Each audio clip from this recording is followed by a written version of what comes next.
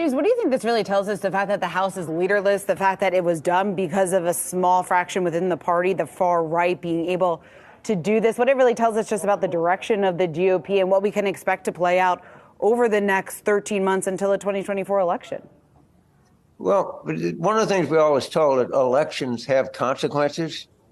Uh, yeah. Elections that have a narrow win really have consequences. And, and, remember, the Democrats had the same majority, plus four, that McCarthy had.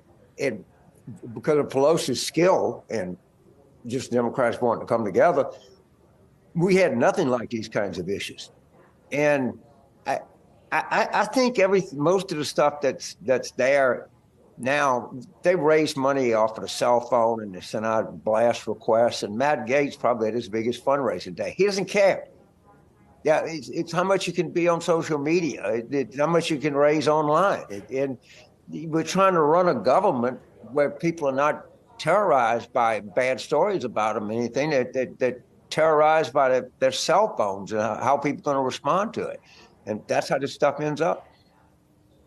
Yeah, just as long as he's not doing that fundraising through Venmo. Um, you know, all the things considered here that we have to look forward to over the next year.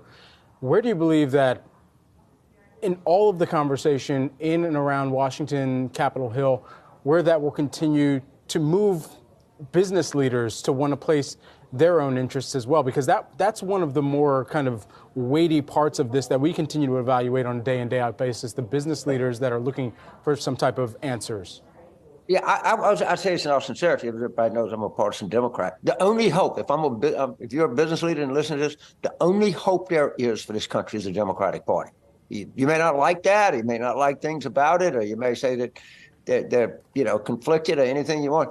But given the current makeup of the Republican electorate, there, there's only one party in this country that e- even is remotely possible of producing sanity. And I, I really mean that. I, I, it, it as a partisan, but if you look at where they are, the composition of the voters and the people that make up respective political parties, if you're a business leader, or you somebody that sees you know country kind of moving forward together and uh, that kind of stuff, that's the only hope you have. I'm sorry. I, sorry to bring the bad news to you.